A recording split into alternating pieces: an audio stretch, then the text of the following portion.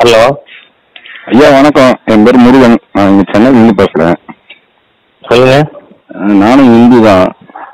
இந்த இவ்வளவு பிரச்சனைக்கு நடுவில் ஏற்கனவே இருபத்தொரு நாள் ஊரடங்கு உத்தரவு போட்டாங்க. கொண்டாட்டி போர். இன்னும் வந்து மார்ச் சாரி மே மாசம் மூணாம் தேதி வரைக்கும் சொல்லியிருக்காங்க. மத்திய அரசு எதுவும் நிவாரணம் எல்லாம் கொடுக்க முடியாதுங்களா? சாதாரண வரைக்கும் ஒரு லட்சத்தி எழுபத்தி எட்டாயிரம் கோடி கொடுத்துருக்குங்க. நிவாரணம் கொடுக்க முடியாதா கொடுக்க முடியாதான்னு ஏன் இந்த மாதிரி இல்லைங்க எங்களுக்கு அண்ணா அன்னைக்கு வேலைக்கு இருங்க ஐயா இருங்க நான் சொல்ல முடியல எங்களுக்கு அண்ணா அன்னைக்கு வேலைக்கு போனாங்க எல்லாம் மோடிய திட்டணுங்கிறதால இந்த தமிழ்நாட்டுல இந்த ஈவேரா புத்தி வேற நல்ல புத்தியே இல்லைங்க. நானும் இந்து தான் அவர் மோடி ஈவேரா தேச விரோதத்தை வளர்த்து வெள்ளக்காரன் இருந்து தமிழ்நாடு அவர்கிட்ட போறீங்க? எங்க ஒரு லட்சத்தி எழுபதாயிரம் கோடி கொடுத்திருக்கு கொடுக்க முடியாதான்னா நாளைக்கு திருப்பி அறிவிக்கிறேன்னு சொல்லி இருக்கார்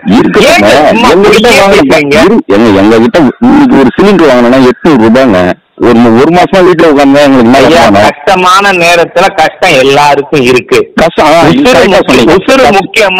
ஆடம்பரம் முக்கியமான்னு யோசிப்போம். சாப்பாடு முக்கியம். எல்லாம் கொடுத்துருக்கு ரேஷன்ல அரிசியை ரெண்டு மடங்கு ஆக்கி இருக்கு ஃப்ரீயா கொடுத்துருக்கு. இது பருப்பு கொடுத்துருக்கு. எல்லா விவசாய அக்கௌண்ட் பணம் போட்டிருக்கு. எல்லா ஜன்தன் அக்கௌண்ட்லயும் பணம் போட்டிருக்கு. என்ன பண்ணி கொண்டு இருக்கு உங்களுக்கு தேவை என்னன்னா அது பேச முடியும்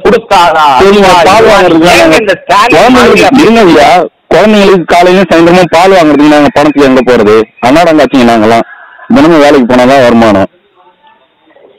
எங்க போறது சொல்லுங்க. வரியா வாங்கிருக்கீங்க ஐநூறு ரூபாய் நான் வரி செலவு பண்ணலாம் வரி வாங்கியிருக்க? அடுத்த வாங்காத வரி என்ன வாங்கிட்டாங்க? உலகத்திலேயே அதிக வரி இந்தியாவில தான் வாங்கிருக்கீங்க எந்த நாட்டிலும் கிடையாது. இந்தியாவில தப்பா தயவு பண்ணி தப்பா தப்பா பேசாதீங்க. தப்பா பேசல. இருபத்தி பதினெட்டுல இருந்து நாசமா போற நான் தமிழ்நாடு மக்கள் கெடுத்து வச்சிருக்கான். தமிழ்நாட்டு பதில்